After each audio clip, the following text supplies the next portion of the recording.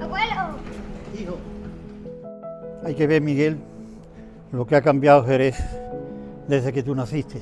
¿Por qué lo dice, abuelo?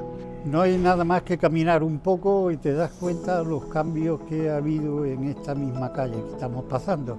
¿Y en qué más cosas ha cambiado, abuelo? Uf, muchísimas. Durante estos años nos ha tocado despedir a ilustres jerezanos como el Torta, Manuel Agujeta, Caballero Bonal, Manuel Moneo y también grandes jerecistas como Don Sisto de la Calle, Juan Bellido o Ramón Molina Barrio. Yo creo que hemos tenido más cosas buenas que malas. Por supuesto, tú sabes que, por ejemplo, un hijo predilecto de Andalucía es también jerezano. Manuel Alejandro, yo lo vi en la tele. ¿Y el fútbol?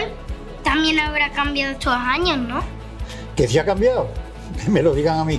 Desde que naciste hemos pasado de jugar en campos de albero a césped de última generación. Hemos pasado de jugar contra equipos de barriada y de la provincia de Cádiz a viajar por toda Andalucía, Extremadura, Canarias y ahora Murcia.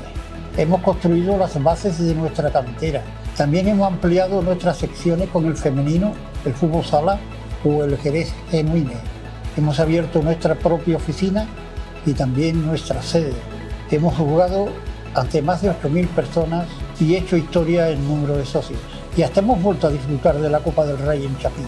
Pero hijo, lo más importante es que hemos sido fieles a nuestros valores y principios bajo la bandera del jerecismo.